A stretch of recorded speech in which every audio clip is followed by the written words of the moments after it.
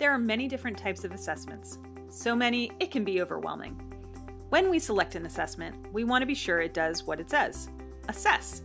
Specifically, we want to assess the learning outcomes we've chosen for our course.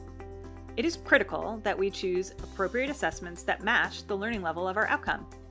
It doesn't do us any good to have an outcome where we expect a student to be able to analyze a concept, but assess them on simple definitions. Then we haven't assessed analysis at all. Using Bloom's taxonomy, we can strategically choose assessments that match the outcome verbs with which we've designed our outcomes. Take a look at the Assessment Strategies Interactive, in which we provide suggested assessment styles and question prompts given the learning level of Bloom's taxonomy. Consider your existing course assessments and whether they match the learning level appropriate for the corresponding outcome. Highlight those that you may need to alter to meet the learning level.